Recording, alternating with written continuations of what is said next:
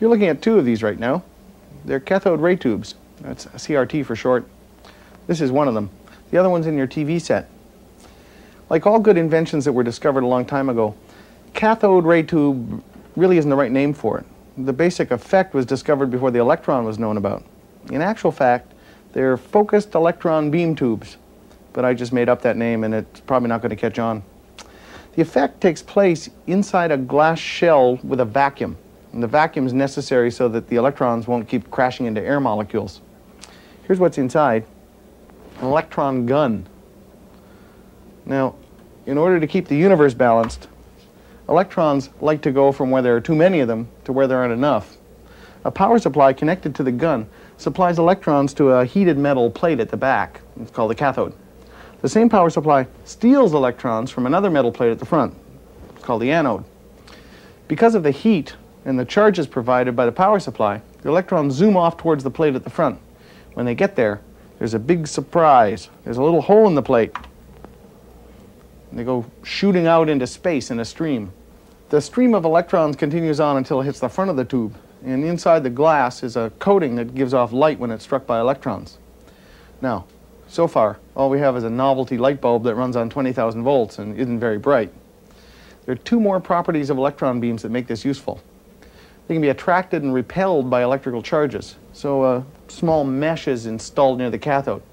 Varying the charge on that mesh, it's called a grid, changes the intensity of the electron beam. A charged ring is also placed in its path. By adjusting the charge on it, the beam can be focused. The second property of electron beams is that they can be deflected by magnetism. That's what the coils of wire on this one are for. They're electromagnets by varying the current in them, the spot can be moved anywhere on the faceplate. One set of coils moves the spot in the x direction. That's engineer talk for sideways. The other set takes care of the y direction, up and down. Your TV set uses electromagnets a lot like these. Here's some audio tones applied to those electromagnets. Now, that's one way to put a picture on a cathode ray tube. It's to move the spot around in various shapes, just like this.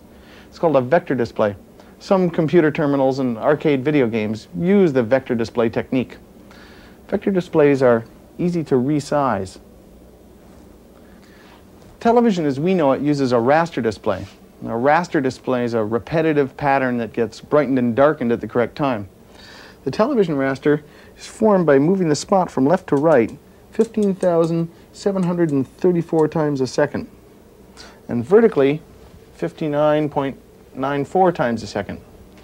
The rectangle that results is made of 525 thin lines. This rectangle is synchronized right now with the camera that's shooting me. And there's one more input on my CRT, the Z-axis, or Z-axis if you're American. It controls the, the brightness of the spot. I'll connect the camera's video signal to it. A picture in glorious black and green.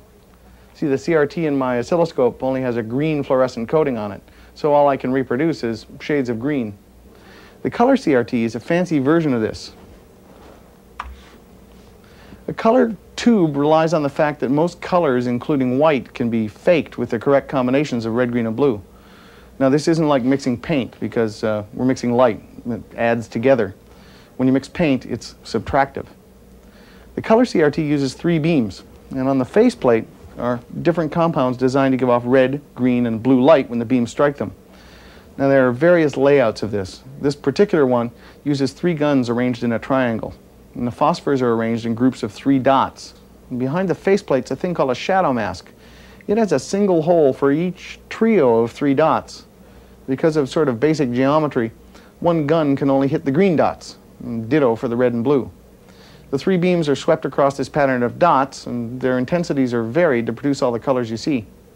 This uh, particular monitor has switches for the three guns. Here's the red gun only. Red, white, yellow, orange, purple, and gray have a little bit of red in them. Here's the green gun.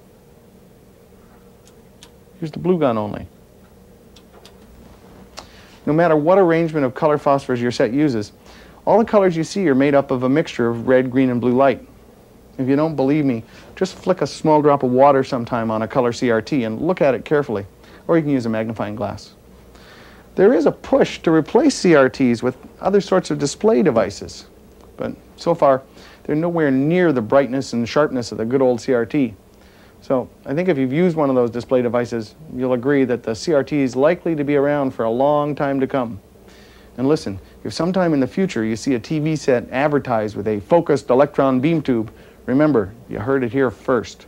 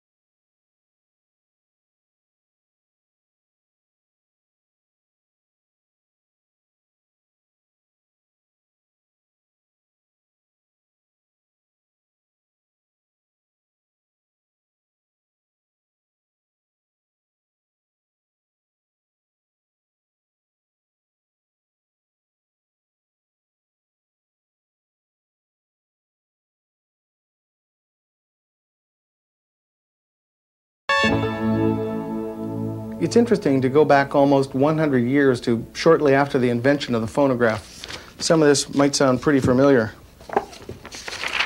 Enthusiasts argued over the merits of one or another machine, the dimensions of the acoustic horns, and the superiority of various needle materials.